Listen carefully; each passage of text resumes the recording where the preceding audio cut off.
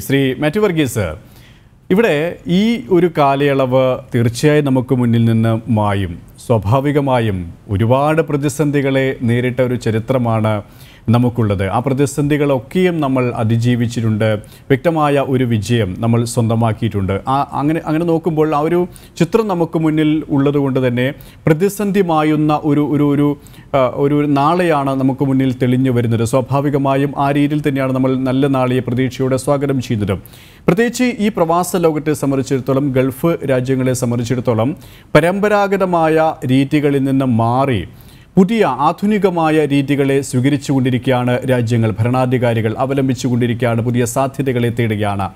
അങ്ങനെ നോക്കുമ്പോൾ വലിയ രീതിയിലുള്ള ഒരു വ്യാവസായികമായിട്ടുള്ള ടൂറിസവുമായി ബന്ധപ്പെട്ടുള്ള ഒരു വിപ്ലവം തന്നെ ഗൾഫ് രാജ്യങ്ങളിൽ ഉണ്ടാകാനുള്ള ഒരു സാധ്യതയാണ് കാണുന്നത്. താൽക്കാലികമാണ് ഈ സാമ്പത്തികമായ ഒരു പ്രതിസന്ധി. നാളെ വലിയ രീതിയിലുള്ള ഒരു തിരിച്ചുവരവാണ് ഉണ്ടാകാൻ പോകുന്നത് എന്നാണ് പൊതുവെയുള്ള വിലയിരുത്തൽ. അങ്ങനെ നോക്കുമ്പോൾ എത്രത്തോളം ഉണർവേകുന്ന ഒരു നല്ല നാളെയായിരിക്കും ഉണ്ടാവുക?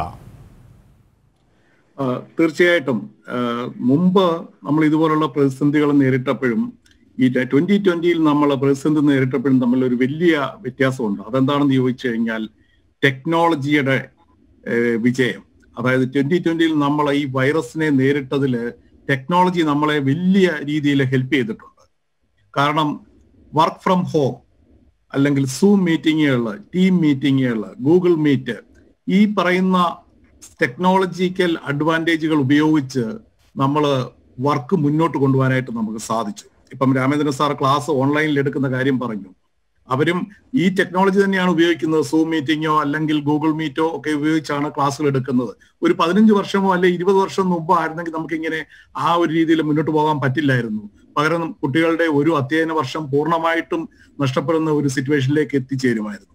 അത് പോയിട്ട് ആദ്യം ഒന്ന് പകച്ചു നിന്നെങ്കിലും പെട്ടെന്ന് സ്കൂളുകളും സ്ഥാപനങ്ങളും ബാങ്കുകളും എല്ലാവരും വിതിൻ വൺ വീക്ക് ടു വീക്കിനുള്ളിൽ തന്നെ വർക്ക് ഫ്രം ഹോം സെറ്റപ്പ് ചെയ്തു.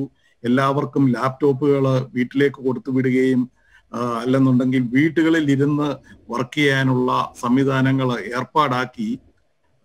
The show must go on എന്ന് പറയുന്ന ആ രീതിയിലേക്ക് നമ്മൾ തടസ്സം വരാതെ കാര്യങ്ങൾ മുന്നോട്ട് കൊണ്ടുപോകാനായിട്ട് സാധിച്ചു. പ്രത്യേകിച്ച് ആ ഒരു കാര്യത്തിൽ ഗൾഫിൽ വളരെ വലിയൊരു മുന്നേറ്റമാണ് ഉണ്ടായിട്ടുള്ളത്.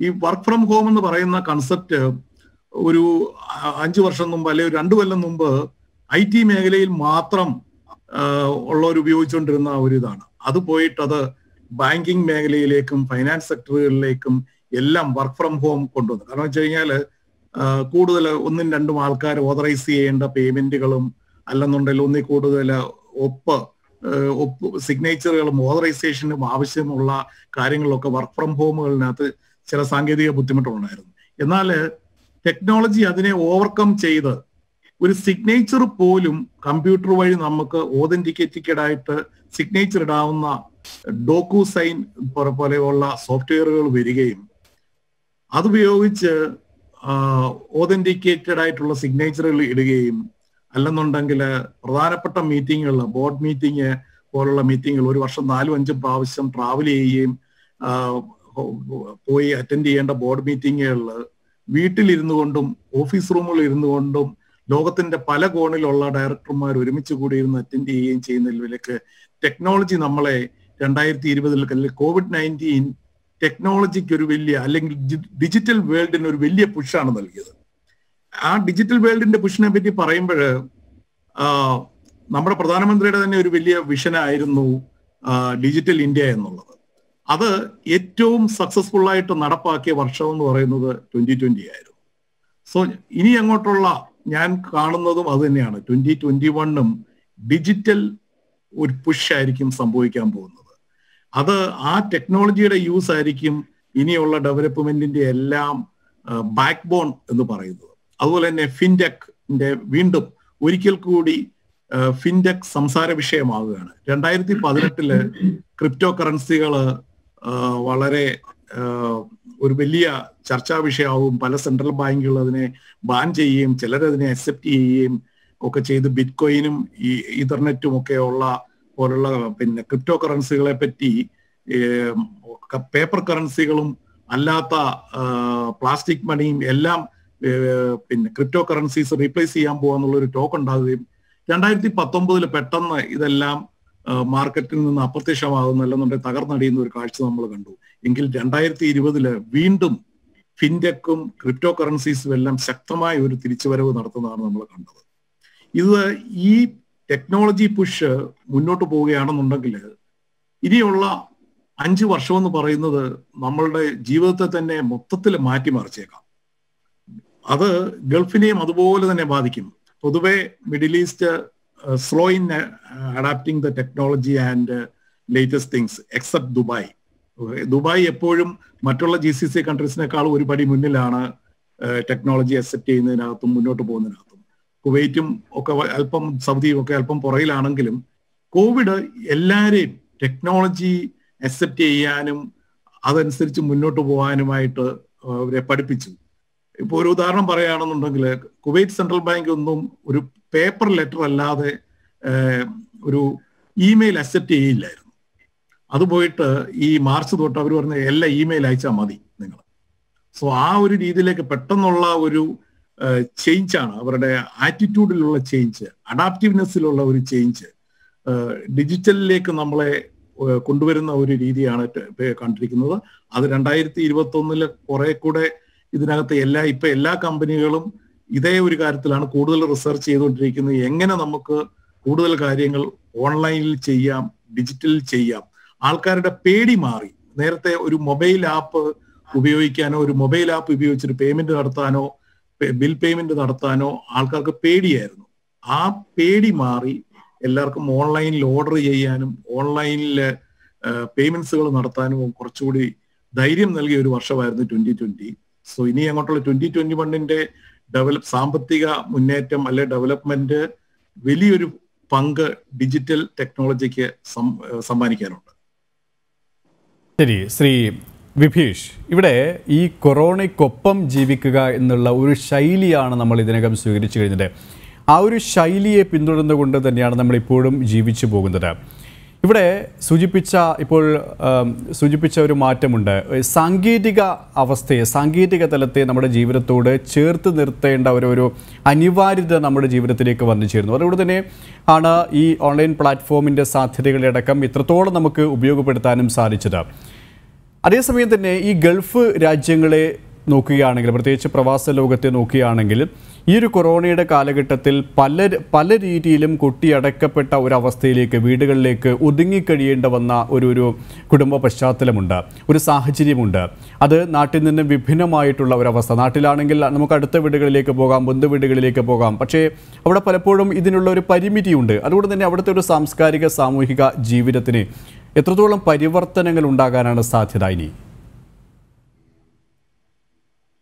പ്രവാസി മേഖലയിലെ സാമൂഹിക സാംസ്കാരിക പ്രവർത്തനങ്ങൾ ഒരു പുറമേ നിന്ന് നോക്കി കാണുമ്പോൾ അത് ഒരുപാട് ആഘാതങ്ങൾ ഏൽപ്പിച്ചിട്ടുണ്ട്. പക്ഷേ ഇവിടുത്തെ വൈബ്രന്റ് ആയിട്ടുള്ള സാമൂഹിക സാംസ്കാരിക സന്നദ്ധ സംഘടനകൾ അവരുടെ ചേർത്ത് പിടിക്കലിലൂടെ ഇപ്പോൾ കൊറോണ കാലഘട്ടത്തിൽ ഗൾഫ് മേഖലകളിൽ പുതിയൊരു സേവാ സംസ്കാരം രൂപപ്പെട്ടിട്ടുണ്ട്. അതിന്റെ ഒരു വ്യക്തമായ ഒരു ഉദാഹരണമാണ് ഇന്ത്യൻ ഡോക്ടേഴ്സ് ഫോറത്തിന്റെ പ്രസിഡന്റ് സൂചിപ്പിച്ചതും എല്ലാ മേഖലകളിലും ഈ കുവൈറ്റിൽ പ്രത്യേകിച്ച് എല്ലാ മുഖ്യധാരാ സംഘടനകളും ചെറുതും വലുതുമായ സംഘടനകൾ അതിന്റെ പ്രവർത്തകരെ മാത്രമല്ല മുഴുവൻ സമൂഹത്തെയും ജാതി മത രാഷ്ട്രീയ ചിന്തകൾക്ക് അതീതമായിട്ട് ലോകം ഒരു കുടുംബമാണ്. അപ്പോൾ പരസ്പരം താങ്ങ നിർത്തുക എന്നുള്ള ഒരു സന്ദേശത്തിലൂടെ എല്ലാവരെയും ചേർത്ത് പിടിക്കുവാനുള്ള ശ്രമങ്ങൾ നടത്തിയിട്ടുണ്ട്. ഒപ്പം തന്നെ ഇന്ത്യൻ എംബസിയുടെ ഉണർന്നുള്ള പ്രവർത്തനങ്ങൾ. ഇതൊക്കെ വലിയൊരു താങ്ങലാണ്. വലിയൊരു താങ്ങും തണലുമായിട്ട് വന്നിട്ടുണ്ട്. തീർച്ചയായിട്ടും നാട്ടിലെ ഒരു സാഹചര്യമല്ല പ്രവാസ മേഖലകളിൽ ഉള്ളത് അപ്പൊ നാല് ചുമരുകൾക്കുള്ളിൽ ഒതുങ്ങി കഴിയുമ്പോൾ നമ്മുടെ ഒരു മാനവിക ബോധം അല്ലെങ്കിൽ സാംസ്കാരിക ബോധം അപ്പോൾ ആ ഒരു കരുതലിലൂടെ നമ്മൾ ജീവിക്കുകയാണെങ്കിൽ പരസ്പരം ഈ സാങ്കേതിക വിദ്യ ഉപയോഗിച്ചുകൊണ്ട് തന്നെ ഓൺലൈനിലൂടെ പരസ്പരം കുടുംബ ബന്ധങ്ങളും സാമൂഹിക ബന്ധങ്ങളും ഒക്കെ ഊട്ടിയുറപ്പിക്കുന്ന സാംസ്കാരിക പ്രക്രിയകൾ ഇന്ന് ഗൾഫ് മേഖലകളിൽ കാണുന്നുണ്ട്. അപ്പോൾ അത് ആ ഒരു സമന്വയത്തിന്റെ സേവന സംസ്കാരം സഹജീവി സ്നേഹം. അപ്പൊ ആർക്ക് എന്ത് പ്രശ്നം വന്നാലും സഹായിക്കുവാൻ ഇവിടെ സാമൂഹിക പ്രവർത്തകരുണ്ട്. സാംസ്കാരികമായ മൂല്യച്യുതികൾ വരുന്ന സമയത്ത് അതിന് തടയിടുവാനുള്ള സംവിധാന ക്രമങ്ങൾ രൂപപ്പെടുത്തുന്നതിൽ ഇവിടുത്തെ ഗവൺമെന്റ് അതിന് അനുകൂലമായ ഒരു സാഹചര്യം തന്നെയാണ് ഉള്ളത് പക്ഷേ നമ്മൾ ഇവിടുത്തെ നിയമ വ്യവസ്ഥിതിക്കനുസരിച്ചിട്ട് ഒരു പൊതുബോധത്തിന് അനുസരിച്ച് ജീവിക്കുമ്പോൾ ഈ വലിയ പ്രതിസന്ധിയെ തരണം ചെയ്യുവാൻ നമുക്ക് തന്നെ സാധ്യമാകും. അതിന് ആ ഒരു ഉണർവ് ആ ഒരു സാധ്യതയെ സാംസ്കാരിക സംഘടനകൾ ഉപയോഗപ്പെടുത്തണം എന്നുള്ളതാണ്. അല്ലെങ്കിൽ സാമൂഹിക പ്രവർത്തകര് അത്തരത്തിലുള്ള പ്രതിസന്ധികളെ തരണം ചെയ്യുവാനുള്ള ഇന്നവേറ്റീവ് ആയിട്ടുള്ള പ്രക്രിയകൾ രൂപപ്പെടുത്തേണ്ടതായിട്ടുണ്ട്. ഇപ്പൊ ഓൺലൈൻ ബിസിനസിന്റെ ഒരുപാട് സാധ്യതകളുണ്ട്. വിദ്യാഭ്യാസ രംഗത്ത് ഒരുപാട് സാധ്യതകളുണ്ട്. ഈ അപാരമായ സാധ്യതകൾ അല്ലെങ്കിൽ പാരിസ്ഥിതികമായ വിവേകം ശക്തിപ്പെടുത്തിക്കൊണ്ട് നമ്മൾ ജീവിക്കുവാൻ ഓരോ പ്രവാസി സുഹൃത്തുക്കളെയും അല്ലെങ്കിൽ പ്രവാസി കുടുംബങ്ങളെയും പ്രേരിപ്പിക്കുവാനുള്ള സാംസ്കാരിക പ്രവർത്തനങ്ങൾ ഈ ഭൂമികയിൽ ശക്തമായി നടക്കേണ്ടതായിട്ടുണ്ട്. അതിന് ഗവൺമെന്റ് സംവിധാനത്തെയും നാം ഉപയോഗിക്കേണ്ടതായിട്ടുണ്ട്. ശരി ഡോക്ടർ അമീർ അഹമ്മദ് ഇവിടെ കൊറോണ വാക്സിനേഷനുമായി ബന്ധപ്പെട്ട നടപടികൾ എല്ലാ രാജ്യങ്ങളിലും പുരോഗമിച്ചുകൊണ്ടിരിക്കുകയാണ്. ആ ഒരു സമയത്ത് തന്നെയാണ് ജനിതക മാറ്റം വന്ന കൊറോണ എന്നുള്ള ഒരു ആശങ്ക ഭീതി ഉണ്ടായിരിക്കുന്നത്. ഇപ്പോൾ ഇന്ത്യയിലും ബ്രിട്ടനിൽ നിന്ന് വന്ന ആറ് പേർക്ക് അത്തരത്തിലുള്ള ഒരു രോഗാവസ്ഥയുണ്ട്. അവരെ അതീവ സുരക്ഷാ മേഖലയിലേക്ക് മാറ്റി. അതുകൊണ്ട് തന്നെ ആശങ്കപ്പെടേണ്ട ഒരു സ്ഥിതി വിശേഷമില്ല എന്നാണ് ഇന്ത്യ സർക്കാർ തന്നെ അറിയിച്ചിരി അറിയിച്ചിരിക്കുന്നത്. അതോടൊപ്പം തന്നെ പല രാജ്യങ്ങളും ഇതുമായി ബന്ധപ്പെട്ട കടുത്ത നിയന്ത്രണങ്ങളാണ്. അതിർത്തികൾ അടയ്ക്കുന്ന ഒരു ഒരു സാഹചര്യം വരെ ഉണ്ടായിക്കഴിഞ്ഞു.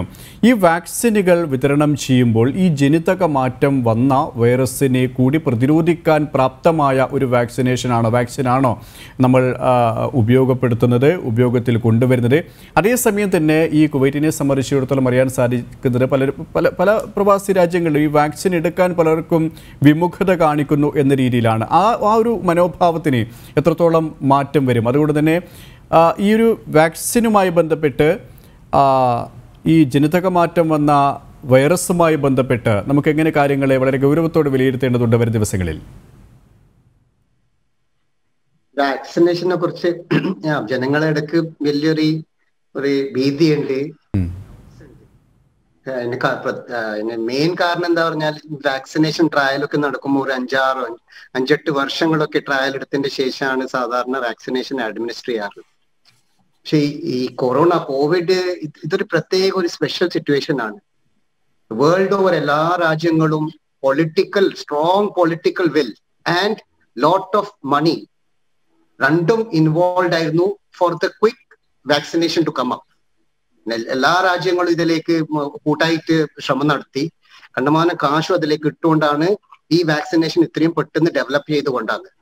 അപ്പൊ ഈ വാക്സിനേഷൻ ഡെവലപ്പ് ചെയ്ത് ഇതിന് റെഗുലേറ്ററി ബോഡീസ് എല്ലാ main important W H O ആവട്ടെ മറ്റേ സി ഡി എച്ച് ആവട്ടെ യൂറോപ്യൻ ബോഡീസ് ആവട്ടെ എല്ലാ റെഗുലേറ്ററി ബോഡീസ് അവരൊക്കെ അതിനെ ടെസ്റ്റ് ചെയ്തിട്ടാണ് സാങ്ഷൻ ചെയ്തിരിക്കുന്നത്. അതുകൊണ്ട് ഞങ്ങൾ ആ ഒരു വിഷയത്തിൽ ഭയപ്പെട്ട് യാതൊരു ആവശ്യമില്ല ഭീതിയുണ്ട്. പിന്നെ പ്രത്യേകിച്ചിട്ട് ഇപ്പോഴത്തെ ഈ ഈ ഫൈസർ ഫൈസർ വാക്സിനും മോഡർണ വാക്സിൻ എന്ന് പറയുന്നത് M R N A modify ചെയ്തിട്ടുള്ള ഒരു ഒരു വാക്സിൻ ആണ്. ഇത് പുതുതായിട്ട് വന്നിരിക്കുന്നതാണ്. മറ്റേ റെഗുലർ നോർമൽ ആയിട്ട് നമ്മൾ കൊടുത്തുകൊണ്ടിരുന്നത് ഒന്നെങ്കിൽ ലൈവ് ആറ്റുനേറ്റഡ് അല്ലെങ്കിൽ കിൽഡ് വൈറസസ് ഒക്കെ ആയിരിക്കും ആ വാക്സിൻ ഉപയോഗിക്കുന്നത്. ഇതൊരു പുതിയ പുതിയൊരു സംഭവമാണ് വന്നിരിക്കുന്നത്. അപ്പൊ അതും ജനങ്ങളുടെ ഇടയ്ക്ക് പല ഡൗട്ട്സും പല പ്രയാസങ്ങളും പല എന്താ പറയാ ഇത് ക്രിയേറ്റ് ചെയ്തിരിക്കുകയാണ്. Social media just gone to അത് ആ ഒരു സംഗതി കുറെ കൂടിയും ഇൻക്രീസ് ചെയ്തു സോഷ്യൽ മീഡിയ മുഖേന but experts experts most of the experts അവരൊക്കെ പറഞ്ഞു കൊടുക്കുന്നത് അതൊന്നും ഡോണ്ട് വറി അബൌട്ട് ഇറ്റ് അതിനൊന്നും സൈഡ് എഫക്ട്സ് ഒന്നും ഇല്ല. It's it is very safe to take these vaccine അതേസമയം തന്നെ ഡോക്ടർ ഈ ജനിതക മാറ്റം വന്ന ഈ വൈറസ് അതിൽ അത്രത്തോളം ഭയപ്പെടേണ്ട ആശങ്കപ്പെടേണ്ട ഒരു സാഹചര്യം നിലവിലില്ല അല്ലേ? ഒരു പാനിക് സിറ്റുവേഷനിലേക്ക് കാര്യങ്ങൾ പോകില്ല അല്ലേ? തീരെ ഇല്ല തീരെ ഇല്ല. പാനിക് സിറ്റുവേഷനിലേക്ക് പോവേയില്ല. അത് ഇത് ജനറ്റിക്കലി മോഡിഫൈഡ് ആണ്. ഇതെന്തെങ്കിലും ഞങ്ങളെ വരാൻ പോകുന്ന ജനറേഷനിൽ അത് എഫക്റ്റ് ആവുമോ പിടിക്കോ അത് ഇതൊക്കെ സയന്റിസ്റ്റും വേൾഡ് ബോഡീസ് അല്ലേ? വി ഹാവ് ടു ഞങ്ങൾക്ക് ഒരു എലിമെന്റ് ഓഫ് ട്രസ്റ്റ് ഉണ്ടാവണം. ഞങ്ങൾ അതോറിറ്റീസ് ആണ്. അതോറിറ്റീസ് ആണ് ഇത് സാങ്ഷൻ ചെയ്യുന്നത്. It's not one single authority world over എല്ലാവരും കൂടി വന്നിട്ടില്ല. ഇതല്ലേ അതിന് ഒരു ഈ കൊറോണയുടെ മ്യൂട്ടേഷൻ അത് പ്രതീക്ഷിച്ചതാണ്. അതുകൊണ്ട് തന്നെ സ്വാഭാവികമായും നടക്കുന്നതാണ്. അതുകൊണ്ട് തന്നെ അത് മുന്നിൽ കണ്ടുകൊണ്ട് തന്നെയാണ് ഈ വാക്സിനുകളെല്ലാം ഒരുക്കിയിട്ടുള്ളത് അല്ലേ? അതെ ഇപ്പൊ ഈ ഈ എം ആർ എൻ എ പറയുന്ന ഫൈസറിന്റെയും മോഡലിന്റെയും അതൊരു എസ് സ്പൈക്ക് ആണ്. കൊറോണ വൈറസിൽ ഒരു എസ് സ്പൈക്ക് ഉണ്ട്. ആ എസ് സ്പൈക്ക് പ്രോട്ടീനാണ് അറ്റാക്ക് ചെയ്യുന്നത്. അപ്പം ഈ പുതിയ സ്ട്രെയിൻ യു കെയിൽ കണ്ടുപിടിച്ച ആ സ്ട്രെയിനിലും ഈ വാക്സിൻ വിൽ ബി എഫക്റ്റീവ് എന്നാണ് പറയുന്നത്. Pfizer vaccine will be effective against that also protection will be according to that ആ റേഞ്ച് അപ്പം എനിക്കിവിടെ പറയാനുള്ളത് definitely we have to trust our government we have to trust authorities നമുക്ക് അവരിൽ വിശ്വാസം ഉണ്ടാവണം. ബിക്കോസ് ഇതിൽ റെഗുലേറ്ററി ബോഡീസ് ആണ് കുറെ സ്റ്റഡീസ് നടത്തിയിട്ടാണ് ഇതിങ്ങനെ ചെയ്യുന്നത്. ഇപ്പൊ കുവൈറ്റിൽ തന്നെ നോക്കിക്കോ കുവൈറ്റിൽ വാക്സിനേഷൻ തുടങ്ങുന്നതിന് മുമ്പ് only about seventy three thousand ആൾക്കാരെ രജിസ്റ്റർ ചെയ്തിട്ടുള്ളൂ. ഫസ്റ്റ് ഡേ തന്നെ ഇവിടുത്തെ പ്രൈം മിനിസ്റ്ററും ഇവിടുത്തെ മിനിസ്റ്ററും കംപ്ലീറ്റ് മെമ്പർ ഓഫ് പാർലമെന്റിലും വന്ന് ദേ ഓൾ പോയിട്ട് വാക്സിനേഷൻ എടുത്തു. വിത്തിൻ ത്രീ ഡേയ്സ് ഇന്ന് മൂന്നാമത്തെ ദിവസമാണ്. The number is jump double ആയി. Hundred and fifty thousand registration ആയിരിക്കുകയാണ്. അപ്പം പീപ്പിൾക്ക് ആ കോൺഫിഡൻസ് വരുന്നുണ്ട്. ഡെഫിനറ്റ്ലി എനിക്ക് ഈ ഒരു പ്ലാറ്റ്ഫോമിൽ പറയുന്നത് you should go head and take the vaccine specially vulnerable ആയ ആൾക്കാർ പ്രായമുള്ള ആൾക്കാർ ഈ chronic disease heart disease diabetes ഇതൊക്കെയുള്ള ആൾക്കാർ ഡെഫിനറ്റ്ലി അവർ എടുത്തിരിക്കണം. പിന്നെ front line workers health workers we should definitely take this vaccine അതിലൊരു this no to doubts about it അതാണ് ഗവൺമെന്റ് ഓഫ് മിനിസ്റ്റർ ഓഫ് ഹെൽത്തിന്റെ policy and we follow it to the world Shri Ramachandra Menon അത്രയൊന്നും ആശങ്കപ്പെടേണ്ട ഒരു നാളെയല്ല ഉള്ളത് എന്നാണ് ആരോഗ്യ വിദഗ്ധരടക്കം നമ്മോട് പങ്കുവയ്ക്കുന്നത്. അതുകൊണ്ട് തന്നെ നമുക്ക് പ്രതീക്ഷയോടെ തന്നെ രണ്ടായിരത്തി ഇരുപത്തി ഒന്നിനെ സ്വാഗതം ചെയ്യാം. അതേസമയം തന്നെ ഇന്നത്തെ വിദ്യാഭ്യാസ അവസ്ഥയെ നമ്മൾ പരിശോധിക്കുകയാണെങ്കിൽ താങ്കൾ പറഞ്ഞതുപോലെ തന്നെ വീടുകളിലിരുന്ന് വിദ്യാഭ്യാസം ചെയ്യേണ്ട ഒരവസ്ഥയിലേക്കാണ് കുട്ടികൾ എത്തിയിരിക്കുന്നത്. ഓൺലൈൻ വിദ്യാഭ്യാസം അതിന്റെ സാധ്യതകളുണ്ട്. അപാരമായ സാധ്യതകളെ കൃത്യമായി ഉപയോഗപ്പെടുത്തിക്കൊണ്ട് തന്നെയാണ് ഇപ്പോൾ വിദ്യാഭ്യാസ രീതികൾ ശൈലികൾ മുന്നോട്ട് പോകുന്നത്. ഇപ്പോൾ പരീക്ഷ കൂടി അടുത്ത ഒരു ഘട്ടത്തിൽ അവിടെ പോലും ഈ ഓൺലൈൻ പ്ലാറ്റ്ഫോമിന്റെ സാധ്യതകളെയാണ് വിദഗ്ധമായി ഉപയോഗിക്കുന്നത്. ഈ സാധ്യതകളെ നമുക്ക് ഈ രണ്ടായിരത്തി ഇരുപത്തി ഒന്നിൽ എത്രത്തോളം പോസിറ്റീവായി ഉപയോഗപ്പെടുത്താൻ സാധിക്കും? ഇത് കണ്ടിന്യൂ ചെയ്യേണ്ട ഒരു ഒരു ഒരു അവസ്ഥ ഉണ്ടല്ലോ. സ്വാഭാവികമായും എനിക്ക് തോന്നുന്നു ഈ വിദ്യാലയങ്ങൾ തുറന്നു കഴിഞ്ഞാൽ പോലും കൃത്യമായ രീതിയിൽ പഴയ ആദ്യഘട്ടങ്ങളിൽ ആ ഒരു വിദ്യാഭ്യാസ രീതി പഴയ പോലെ തിരിച്ചു വരാനൊരു സമയമെടുക്കും അവിടെ ഓൺലൈൻ വിദ്യാഭ്യാസത്തിന്റെ സാധ്യതകൾ ഒരു പരിധിവരെ ഉപയോഗപ്പെടുത്തേണ്ടതുണ്ട്. അതിന്റെ സാധ്യതകൾ എങ്ങനെയാണ് എന്നത് ഒരു ചോദ്യം പ്രസക്തമാണ്. അതേസമയം തന്നെ ഇപ്പോഴുള്ള വിദ്യാഭ്യാസികളുടെ വിദ്യാർത്ഥികളുടെ ഒരു മാനസിക നിലയുണ്ട്. കുട്ടി അടക്കപ്പെട്ട വീടുകളിൽ ഇരുന്നു കൊണ്ട് അവർക്ക് വിദ്യ സ്വീകരിക്കേണ്ടി വരുന്ന ഒരവസ്ഥ. ആ പല പല കുട്ടികൾക്കും ആ മാനസികമായിട്ടുള്ള വിഷമം ഉണ്ടാക്കുന്ന ഒരു സാഹചര്യമുണ്ട്. അതേസമയം തന്നെ രക്ഷിതാക്കൾക്കും അധ്യാപകരും പല രീതിയിലും അത് പങ്കുവയ്ക്കുകയുണ്ടായി എങ്ങനെയാണ് അതിന് താങ്കൾ നോക്കിക്കാണുന്നത്? അടുത്ത വർഷം എന്ന് വെച്ചാൽ പരീക്ഷകൾ ധാരാളമായിട്ട് ഇപ്പൊ ഈ വർഷം നടന്ന പരീക്ഷ എല്ലാം ഓൺലൈൻ പരീക്ഷയായിരുന്നു. അതെല്ലാം ഭംഗിയായിട്ട് ഞങ്ങൾ പെൻ പേപ്പർ പരീക്ഷ ഉണ്ടായിരുന്നു എം സി ക്യൂസ് ഉണ്ടായിരുന്നു ഓൺലൈൻ പരീക്ഷകൾ എല്ലാം ഉണ്ടായിരുന്നു. എല്ലാം ഭംഗിയായിട്ട് കൊണ്ടു നടക്കാൻ പറ്റി. ഇനിയും ഈ വർഷവും മിക്കവാറും കുറെ അങ്ങനെ പോണ്ടി വരും. ഒരു പകുതി ഒരു ആറ് മാസമെങ്കിലും പരീക്ഷകൾ അങ്ങനെ ഉണ്ടാവുള്ളൂ. സ്കൂൾ ബേസ്ഡ് എക്സാം വരുന്ന എല്ലാം ഈ- വർഷം ഓൺലൈനായിട്ട് പോകാൻ പറ്റുള്ളൂ. അല്ലെങ്കിൽ എന്റെ ഫെബ്രുവരി അല്ലെങ്കിൽ മാർച്ചിൽ കുട്ടികൾക്ക് സ്കൂളിലേക്ക് വരാൻ പറ്റുന്ന തോന്നുന്നില്ല അപ്പൊ അത് ഓൺലൈനായിട്ട് തന്നെ പോകേണ്ടി വരും. Board exam they may have to go to school മറ്റേ സ്കൂൾ ബേസ്ഡ് എക്സാം എല്ലാം ഇറ്റ് വിൽ ബി ഓൺലൈൻ ഈ വർഷം അങ്ങനെ തന്നെ പോകും.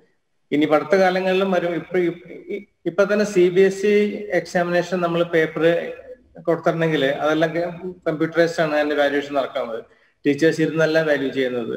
The are scanning it and getting the answers അത് ഓൾറെഡി ഇൻ പ്ലേസ് ഇത് മാതിരി പോപ്പുലർ ആയിട്ടില്ല ഇനിയിപ്പോ അത് കൂടുതൽ പോപ്പുലർ ആയിട്ട് വരും. അപ്പൊ നമ്മൾ പെൻ പേപ്പർ എഴുതി ഇട്ട പരീക്ഷ പോലും ഓൺലൈൻ ആയിട്ട് they can correct the papers and they can get the answers അപ്പൊ അങ്ങനത്തെ ഒരു ഇഷ്യൂ ഉള്ളതുകൊണ്ട് ടെക്നോളജി വളരുന്നുണ്ട് ഭംഗിയായിട്ട്.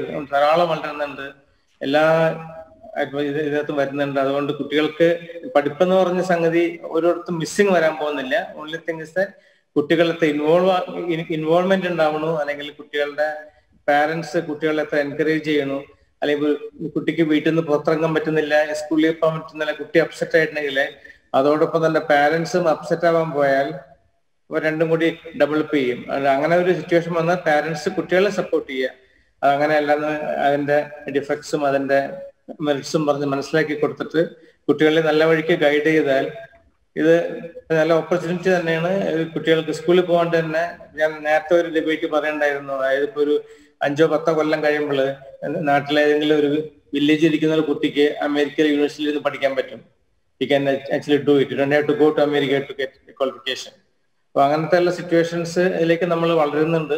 അടുത്തൊരു അഞ്ചു കൊല്ലം പത്ത് കൊല്ലം അല്ലെങ്കിൽ പതിനഞ്ച് കൊല്ലം കഴിഞ്ഞാൽ ഈ ആൾക്കാരുടെ മൂവ്മെന്റ്സ് ഇല്ലാണ്ട് തന്നെ we can get qualification from anywhere in the world ആ ലെവലിലേക്ക് പോകും. അപ്പൊ ഇത് അത് നമ്മൾ കണ്ടു നോക്കണം. അതായത് സ്കൂളിൽ വന്നാൽ മാത്രമേ എനിക്ക് പഠിക്കാൻ പറ്റുള്ളൂ എന്നുള്ള തിങ്കിങ് കുട്ടികൾ മാറ്റണം. അല്ലെങ്കിൽ സ്കൂളിൽ പോയാൽ മാത്രമേ പഠിക്കാൻ പറ്റുള്ളൂ എന്നുള്ളത് പാരന്റ്സ് മാറ്റണം. രണ്ടുപേരും മാറ്റിക്കഴിഞ്ഞാൽ it is an opportunity for everybody അതുകൊണ്ട് ബെനിഫിറ്റ്സ് ഉണ്ട്. സ്കൂൾ ഓപ്പറേറ്റേഴ്സിന് ലോസ് ഉണ്ടാവും. പക്ഷെ എന്നാലും long run it is a beneficial sir അതോടൊപ്പം തന്നെ ഈ ഒരു പുതിയ കാലത്തെ സ്വാഗതം ചെയ്യാൻ പുതിയ വിദ്യാഭ്യാസ കാലത്തെ സ്വാഗതം ചെയ്യാൻ പ്രവാസ ലോകത്തെ സ്കൂളുകൾ എത്രത്തോളം സജ്ജമായി കഴിഞ്ഞു പ്രത്യേകിച്ച് ഈ ഭാരതീയ വിദ്യാഭവൻ പോലുള്ള സ്കൂളുകൾ? എല്ലാ സ്കൂളും ഞങ്ങളുടെ സ്കൂളുകളെല്ലാം ഞങ്ങൾക്കിപ്പോ മറ്റേ കുവൈറ്റിൽ വെച്ച് മറ്റു രാജ്യങ്ങളിലെല്ലാം ഓപ്പറേറ്റ് ചെയ്യുന്നത് പകുതി കുട്ടികൾ സ്കൂളിൽ വരുന്നുണ്ട്. പകുതി കുട്ടികൾ വീട്ടിലിരിക്കണം. അപ്പൊ നമ്മൾ നമ്മുടെ എല്ലാം ബ്ലിൻഡ് ക്ലാസ് ആണ് ക്ലാസ് നടക്കുന്നത് അത് കുട്ടികൾക്ക് വീട്ടിലിരുന്ന് പഠിക്കാം വീട്ടിൽ കാണാം അങ്ങനെ പോകുന്നത്. എല്ലാ സ്കൂളുകളിലും പകുതി കുട്ടികൾ സ്കൂളിൽ വരുന്നുണ്ട് പകുതി പേര് വീട്ടിലാണുള്ളത് ഒരു ഇഷ്യൂ ഇല്ലാണ്ട് ക്ലാസ് നടന്നു പോകുന്നുണ്ട്. ഇനിയിപ്പോ ഇക്കൊല്ലം അങ്ങനെ തന്നെ മിക്കവാറും കുറെ അങ്ങനെ പോകും. അപ്പൊ അതുകൊണ്ട് ഒരു നഷ്ടം വരുന്നില്ല. കുട്ടികൾക്ക് ആക്ടിവിറ്റീസും അല്ലെങ്കിൽ സ്കൂളിലുള്ള ആ ഒരു കണക്ഷൻസും അല്ലെങ്കിൽ കുട്ടികളുടെ ഫ്രണ്ട്ഷിപ്പ് ലോസ് ആവണമെന്നുള്ളത് ഒഴിച്ചാൽ അക്കാഡമിക്കലി കുട്ടികൾക്കൊന്നും ലോസ് വരുന്നില്ല. ഇൻഫാക്ട് ബെനിഫിറ്റിംഗ് എ ലോട്ട് അത് എത്ര കുട്ടികൾ ഭംഗിയായിട്ട് ഉപയോഗിക്കും എത്ര കുട്ടികൾ അല്ലെങ്കിൽ എത്ര പാരന്റ്സ് കുട്ടികളെ അത് കൺവിൻസ് ചെയ്ത് ഭംഗിയായിട്ട് ഉപയോഗിപ്പിക്കും എന്നുള്ളതാണ് പ്രധാനം. അല്ലാണ്ട് ഇതിനകത്ത് ലോസ് ഒന്നും വരുന്നില്ല. എന്തോരം ഉപയോഗിക്കാൻ പറ്റുന്നില്ല കുട്ടികളുടെ മിടുക്ക് അല്ലെങ്കിൽ പാരന്റ്സിന്റെ സ്മാർട്ട്നെസ് അത് നോക്കിയായിരിക്കും കുട്ടി വളരുന്നത്. ശരി ശ്രീ മാത്യു വർഗീസ് ഈ ഒരു സാമ്പത്തിക മേഖലയും മെല്ലെ മെല്ലെ ഉണർവിലേക്ക് പോകുന്ന ഒരു സാഹചര്യമാണ് നമ്മൾ കണ്ടുവരുന്നത്. ആ ഒരു കൊറോണയുടെ ഒരു വല്ലാത്തൊരു പ്രതിസന്ധി ആ ഒരു പിരിമുറുക്കം വിട്ടൊഴിഞ്ഞിട്ടുണ്ട്. ഈ പുതിയ വാർത്തകൾ റിപ്പോർട്ട് ചെയ്യപ്പെടുമ്പോഴും വാക്സിനുകൾ കണ്ടുപിടിച്ചത് വാക്സിനുകൾ ഉപയോഗത്തിൽ വരുന്നത് വലിയ രീതിയിലുള്ള ഒരു പ്രതീക്ഷയും ആളുകൾക്ക് നൽകുന്നുണ്ട്. അതേസമയം തന്നെ ആശങ്കപ്പെടുത്തുന്ന ഒരു സാഹചര്യം ഈ കുവൈറ്റ് ഉൾപ്പെടെയുള്ള രാജ്യങ്ങളെ സംബന്ധിച്ചിടത്തോളം സ്വദേ സ്വദേശീവൽക്കരണമാണ്. പലർക്കും തൊഴിൽ നഷ്ടപ്പെടുമോ എന്നുള്ള ഒരു ഭയമുണ്ട്. പലർക്കും ഇപ്പോൾ നിലവിലെ സാഹചര്യത്തിൽ തൊഴിൽ നഷ്ടപ്പെട്ടിട്ടുണ്ട്. നാട്ടിലേക്ക് വന്നവർക്ക് തിരിച്ചു പോകാൻ കഴിയാത്തൊരവസ്ഥ അവിടെയുള്ളവർക്ക് ഇനിയും ജോലി നഷ്ടപ്പെടുമോ എന്നുള്ള ഭീതിയുണ്ട്. ഒരു ആശങ്കയോടെയാണ് പലരും കഴിയുന്നത്. സ്വദേശീയവൽക്കരണം അടക്കം നടപ്പിലാക്കി വരുന്ന ഒരു ഘട്ടം. എങ്ങനെയാണ് അതിനെ താങ്കൾ സമീപിക്കുന്നത്?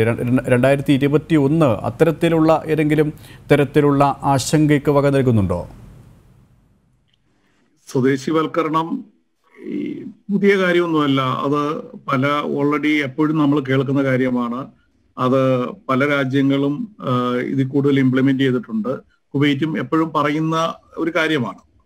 പക്ഷേ ഇത് ഒരു വശത്തൂടെ അവരെ ഇത് പറയുമ്പോഴും ഇവിടുത്തെ പുതിയ പ്രൊജക്റ്റുകൾ മുന്നോട്ട് കൊണ്ടുപോകണമെന്നുണ്ടെങ്കിലും പുതിയ പുതിയ റിഫൈനറിയോ അല്ലെന്നുണ്ടെങ്കിൽ ഇൻഫ്രാസ്ട്രക്ചർ വർക്കുകളോ വീണ്ടും വരുമ്പോൾ അവർക്ക് വീണ്ടും എക്സ്പേർട്സിനെ ഡിപ്പെൻഡ് ചെയ്തേ പറ്റത്തുള്ളൂ. സോ ആ ഒരു ഒരു ലീൻ പീരീഡ് ഇപ്പം നമുക്ക് ഉണ്ടാവും അതായത് പുതിയ പുതിയ പ്രൊജക്റ്റുകൾ വരാനായിട്ട്. ഇതിനകത്ത് ഇപ്പം നമ്മൾ വേൾഡ് എക്കണോമിയുടെ ഒരു ഔട്ട്ലുക്ക് കൂടെ നമ്മൾ നോക്കേണ്ടതുണ്ട് കുവൈറ്റിന്റെ കാര്യം പറയുമ്പോഴും. കാരണം എന്താണെന്ന് വെച്ച് കഴിഞ്ഞാൽ ഈ രണ്ടായിരത്തി ഇരുപത് എന്ന് പറയുന്ന വർഷം നമുക്ക് അങ്ങ് പോയി എന്ന് തന്നെ കണക്ക് കൂട്ടാം. രണ്ടായിരത്തി ഇരുപത്തി ഒന്നിന്റെ ആണെന്നെങ്കിൽ ഞാൻ ആദ്യമേ പറഞ്ഞ പോലെ തന്നെ ആദ്യ പാദം കഴിഞ്ഞിട്ട് രണ്ടാം പാദത്തിൽ എല്ലാ രാജ്യങ്ങളിലും എക്കണോമി അതായത് ഇപ്പോൾ നെഗറ്റീവിൽ കിടക്കുന്ന ജി ഡി പി ശക്തമായ രീതിയിൽ തിരിച്ച് പോസിറ്റീവിലേക്ക് വരാനാണ് പോകുന്നത്. എടുത്തു പറയേണ്ടത് അമേരിക്കൻ എലക്ഷൻ കഴിഞ്ഞു പ്രസിഡന്റ് മാറി ഡെമോക്രാറ്റിക് പ്രസിഡന്റ് വരുന്നു. അതിനെ വിപണി വളരെ പോസിറ്റീവോടുകൂടിയാണ് നോക്കി കാണുന്നത്. ആ അമേരിക്കൻ വിപണി നമുക്ക് ഫോർച്ചുനേറ്റ്ലി ഓർ അൺഫോർച്ചുനേറ്റ്ലി ലോകത്തിന്റെ മുഴുവൻ സമ്പദ് വ്യവസ്ഥയും അമേരിക്കൻ വിപണിയെ ചുറ്റിപ്പറ്റി അല്ലെ അതിനെ ഡിപ്പെൻഡ് ചെയ്താണ് പോകുന്നത്. അമേരിക്കയിൽ ഒരു റിസഷൻ ഉണ്ടായാൽ അത് ഒരു വേൾഡ് റിസഷൻ ആയിട്ട് മാറും. അല്ലെന്നുണ്ടെങ്കിൽ ഇപ്പൊ അമേരിക്ക കഴിഞ്ഞ് കഴിഞ്ഞാൽ ഇപ്പൊ ചൈനയും ഈ രണ്ട് രാജ്യങ്ങളുടെ എക്കണോമിയാണ് ശരിക്കും പറഞ്ഞു കഴിഞ്ഞാൽ വേൾഡ് എക്കണോമിയെ കൺട്രോൾ ചെയ്യുന്നത്. ഒരു പരിധിവരെ യൂറോപ്യൻ യൂണിയനും അപ്പം അമേരിക്കൻ വിപണിയിൽ ഉണ്ടാവുന്ന അല്ലെ അമേരിക്കൻ സാമ്പത്തിക രംഗത്ത് ഉണ്ടാവുന്ന ഉണർവ് അത് മിഡിൽ ഈസ്റ്റിലേക്കും വരും. സോ ഇപ്പോഴേ ഉണ്ടാവുന്ന കുവൈറ്റൈസേഷനും അല്ലെങ്കിൽ സ്വദേശിവൽക്കരണം മറ്റെല്ലാ രാജ്യങ്ങളും പറയുന്നത് താൽക്കാലികം മാത്രമാണ്. കാരണം ഇവിടെ ഉണ്ടാകുന്ന സാമ്പത്തികമായിട്ടുള്ള മുന്നേറ്റം ഉണ്ടാകുമ്പോൾ അമേരിക്കൻ വിപണി ഉണരുമ്പോൾ അതിനനുസരിച്ച് ഓയിൽ പ്രൈസ് ഉയരും. കൂടുതൽ വാഹനങ്ങളെ ഇലക്ട്രിക് കാറുകൾ എല്ലാവരും പറയുന്നുണ്ടെങ്കിലും ഇനിയും വർഷങ്ങൾ എടുക്കും ആ ഒരു ഇലക്ട്രിക്കൽ കാറുകളിലേക്കുള്ള ഒരു ചേഞ്ചിന് പക്ഷെ അതുവരെയും ഓയിലിന് ഡിമാൻഡ് ഉണ്ടാവുക തന്നെ ചെയ്യും. സോ ലോക സാമ്പത്തിക വിപണി ഉണരുമ്പോൾ ഓയിൽ പ്രൈസും അതിന്റെ കൂടെ ഉയരും. അതനുസരിച്ച് മിഡിൽ ഈസ്റ്റിന്റെ പ്രൊജക്റ്റുകളുടെ എണ്ണം കൂടും. പുതിയ പുതിയ ഇൻവെസ്റ്റ്മെന്റുകൾ വരും. പുതിയ ഇൻവെസ്റ്റ്മെന്റുകൾ ഇൻഫ്രാസ്ട്രക്ചറിലും ഒരുപാട് പ്രൊജക്റ്റുകൾ കുവൈറ്റ് പ്ലാൻ ചെയ്യുന്നുണ്ടായിരുന്നു. മെട്രോ റെയിൽ അങ്ങനെ പല പ്രൊജക്റ്റുകൾ ഇപ്പൊ തൽക്കാലം അതെല്ലാം ഹോൾഡിലാണ്. പക്ഷെ എന്നുണ്ടെങ്കിൽ ഒരു ആറു മാസം കഴിയുമ്പോൾ ഈ ഈ മാന്ദ്യം അങ്ങ് മാറും. വീണ്ടും പുത്തൻ ഉണർവോടുകൂടി ഉള്ള ഒരു പുതിയ രാജ്യത്തെ ആയിരിക്കും നിങ്ങൾ കാണുന്നത്. അപ്പൊ വീണ്ടും ആളെ വേണ്ടി വരും. സോ നമ്മളൊരു ഇതൊരു ടെമ്പററി പ്രതിഭാസമായിട്ട് മാത്രമേ കാണുന്നുള്ളൂ ഇപ്പോഴത്തെ ഈ ഡിപ്പ് എന്ന് പറയുന്നത്. ഇപ്പൊ നമ്മൾ ഏകദേശം ആറ് ആറര ലക്ഷം എക്സ്പാറ്റ്സ് കുവൈറ്റിൽ നിന്ന് ഓൾറെഡി ഔട്ട് ഓഫ് കുവൈറ്റ് ആണ്. ഇതിവിടെ എല്ലാ മേഖലയിലും ഇവിടെ കുവൈറ്റിലുള്ള റീറ്റെയിൽ വില മേഖലയിൽ എല്ലാവരെയും ഇത് ബാധിച്ചിട്ടുണ്ട്. റിയൽ എസ്റ്റേറ്റ് മേഖലയിൽ വളരെയധികം ഫ്ലാറ്റുകൾ ഒഴിഞ്ഞു കിടക്കുകയാണ്. ഇപ്പൊ റെമിറ്റൻസ് ബിസിനസ് ഞങ്ങളുടെ ബിസിനസ് തന്നെ റെമിറ്റൻസ് ബിസിനസ് ആണെങ്കിൽ ട്വന്റി ഫൈവ് പെർസെന്റേജ് ഡൗൺ ആണ്. ഈ ഇതേ ഇതേ പെർസെന്റേജിൽ മറ്റുള്ള റീറ്റെയിൽ വ്യാപാര രംഗത്ത് ഷോപ്പുകൾക്കും എല്ലാവർക്കും അതിന്റെതായിട്ടുള്ള ഒരു ഹിറ്റ് ഉണ്ടായിട്ടുണ്ട്. സോ അങ്ങനെ ഈ എക്കണോമിക്ക് മുന്നോട്ട് പോകാനൊക്കത്തില്ല പിന്നെ കുവൈറ്റിന്റെ ജന ജനസംഖ്യയുടെ എഴുപത് ശതമാനവും എക്സ്പാറ്റ്സ് ആകുമ്പോൾ അവരുടെ എക്കണോമിയുടെ ഒരു അമ്പത് ശതമാനം കൺട്രോൾ ചെയ്യുന്നതും എക്സ്പാറ്റ്സ് ആണ്. സോ എക്സ്പാറ്റ്സ് പോപ്പുലേഷൻ താഴോട്ട് പോകുന്നത് പിന്നെ മിഡിൽ ഈസ്റ്റിലെ എക്കണോമിയെ ബാധിക്കും. സോ അതുകൊണ്ട് അത് അവരും അധികം താല്പര്യപ്പെടുന്നില്ല. എക്സ്പാറ്റ്സ് പോപ്പുലേഷൻ ഒരുപാട് താഴോട്ട് പോകാനായിട്ട്. സോ അതുകൊണ്ട് തന്നെ അവർ പുതിയ പുതിയ ശരി ഏതായാലും താങ്കൾ സൂചിപ്പിച്ചതുപോലെ തന്നെ അത്രയൊന്നും ആശങ്കപ്പെടേണ്ട ഒരു സാഹചര്യം സ്വദേശീയവൽക്കരണത്തിനുമില്ല. സ്വാഭാവികമായ ഒരു നടപടിക്രമം മാത്രം. ശ്രീ വിഭീഷ് നമുക്ക് സമയപരിമിതിയുണ്ട്. ഇവിടെ ഈ ഒരു രണ്ടായിരത്തി ഇരുപതിനെയും നമ്മൾ സ്വാഗതം ചെയ്തൊരു വലിയ ആവേശത്തോടെയായിരുന്നു. അത്രത്തോളം ആവേശത്തോടെ തന്നെയാണ് ഇപ്പോൾ അതിനെ പഴിച്ചുകൊണ്ടിരിക്കുന്നത് ഈ പിന്നിട്ട കാലത്തെ. സ്വാഭാവികമായും രണ്ടായിരത്തി ഇരുപത്തി ഒന്ന് മുന്നിൽ വന്ന് നിൽക്കുമ്പോഴും നമുക്ക് ആശങ്കയുമുണ്ട് പ്രതീക്ഷകളുമുണ്ട്. പക്ഷേ പ്രതീക്ഷകളെ നമുക്ക് കൂടുതലായി ചേർത്ത് നിർത്താം അല്ലേ? തീർച്ചയായിട്ടും വായന മരിക്കുന്നു എന്ന് നമ്മൾ ഒരുപാട് വിലപിച്ച ഒരു കാലഘട്ടത്തിലൂടെ ഏറ്റവും കൂടുതൽ പുസ്തകങ്ങൾ വായിക്കപ്പെട്ടത് ഈ ഒരു രണ്ടായിരത്തി ഇരുപതിലാണ് ഏറ്റവും കൂടുതൽ പുസ്തകങ്ങൾ എഴുതപ്പെട്ടത് രണ്ടായിരത്തി ഇരുപതിലാണ് ഇതിന്റെയൊക്കെ റിസൾട്ട് വരാൻ പോകുന്നത് ദൈഷ്ണികപരമായ ഒരു ഉണർവ് എന്റെ റിസൾട്ട് കിട്ടുന്നത് രണ്ടായിരത്തി ഇരുപത്തി ഒന്നിലാണ് ഇപ്പം പാരിസ്ഥിതികമായ വിവേകം ശക്തിപ്പെടും പുതിയ തൊഴിൽ സംസ്കാരം രൂപപ്പെടുന്നതു പുതിയ സ്റ്റാർട്ടപ്പുകൾ തുടരുന്നു. ഇപ്പൊ ഭാരതത്തെ സംബന്ധിച്ച് നോക്കുകയാണെങ്കിൽ ആത്മനിർഭർ ഭാരത പദ്ധതികൾ പോലെ ഒരുപാട് സ്റ്റാർട്ടപ്പുകൾ വരികയാണ്. അതുപോലെ തന്നെ ലോകത്തിന്റെ വിവിധ ഭാഗങ്ങളിൽ പുതിയ തൊഴിൽ സാധ്യതകൾ ഓൺലൈൻ ബിസിനസ്സുകൾ വിദ്യാഭ്യാസ രംഗത്തെ കുതിച്ചു ചാട്ടങ്ങൾ ലോകത്തിന്റെ ഔഷധാലയമായിട്ട് ഭാരതം മാറുകയാണ്. അതായത് ജനറ്റിക് മരുന്നുകൾ അപ്പൊ ഒരു ടൂറിസത്തിന്റെ ഒരു കാര്യം നമ്മൾ ആദ്യം സൂചിപ്പിച്ചു. ആരോഗ്യ മേഖലയിൽ വലിയൊരു ടൂറിസത്തിന്റെ സാധ്യത ഭാരതത്തിന്റെ മുന്നിട്ട് നിൽക്കുന്നു. അപ്പം ആശുപത്രി വാസമില്ലാതെ തന്നെ നമുക്ക് അത്യാവശ്യം ഡോക്ടർമാരായിട്ട് കൺസൾട്ട് ഒക്കെ ചെയ്തുകൊണ്ട് അനാവശ്യങ്ങൾ ഒഴിവാക്കിക്കൊണ്ട് തന്നെ സാമ്പത്തികമായി മിച്ചം പിടിച്ചുകൊണ്ട് ലളിതമായ ജീവിത രീതിയിലൂടെയൊക്കെ നമുക്ക് ഭാരതം ലോകത്തെ നയിക്കുന്ന തരത്തിലുള്ള സാമൂഹിക സാമ്പത്തിക ക്രമങ്ങൾ രൂപപ്പെടുത്തുന്നു. ചൈനയുടെ ഒരു ഒരു ചൈനയുടെ ഒരു സാമ്പത്തിക മാന്ദ്യം തീർച്ചയായിട്ടും ഇന്ത്യയിൽ ഒരുപാട് നിക്ഷേപ സാധ്യതകൾ വരും. അതുവഴി ഇന്ത്യ ലോകത്തിന് പുതിയ ദാർശനികപരമായിട്ടും സാമ്പത്തികപരമായിട്ടൊക്കെ അമേരിക്കയെ പോലെ തന്നെ ലോകത്തെ നയിക്കാൻ പ്രാപ്തിയുള്ള തരത്തിൽ നമ്മുടെ രാജ്യം മാറും. അതോടൊപ്പം തന്നെ നമ്മുടെ വിഭവശേഷി അല്ലെങ്കിൽ മാനവ വിഭവശേഷി ലോകത്തിന്റെ വിവിധ ഭാഗങ്ങളിൽ മിഡിൽ ഈസ്റ്റ് ഉൾപ്പെടെ അവരുടെ ക്രിയാത്മകമായ ഇടപെടലുകളിലൂടെ ലോകത്തിന്റെ ശാന്തിയും ശരി ഏതായാലും ഇവിടെ സൂചിപ്പിച്ചതുപോലെ തന്നെ ശുഭകരമായ രീതിയിൽ തന്നെ നമുക്ക് പുതിയ കാലത്തെ സ്വാഗതം ചെയ്യാം. പ്രതീക്ഷകളാണ് നമ്മളെ ഓരോരുത്തരെയും മുന്നോട്ട് നയിക്കുന്നത്. അതുകൊണ്ട് തന്നെ ഇന്നലെയിലെ പ്രതിസന്ധികളെ പാഠമാക്കി നമുക്ക് നാളെയെ സ്വാഗതം ചെയ്യാം. നന്ദി. ഈ ചർച്ചയിൽ പങ്കെടുത്ത ഡോക്ടർ അമീർ അഹമ്മദ് ശ്രീ രാമചന്ദ്ര മേനോൻ ശ്രീ മാത്യു വർഗീസ് ശ്രീ ബിബീഷ് ടിക്കോടി പ്രവാസികൾ പറയട്ടെ ഇവിടെ പൂർണമാവുകയാണ്. നന്ദി. നമസ്തേ.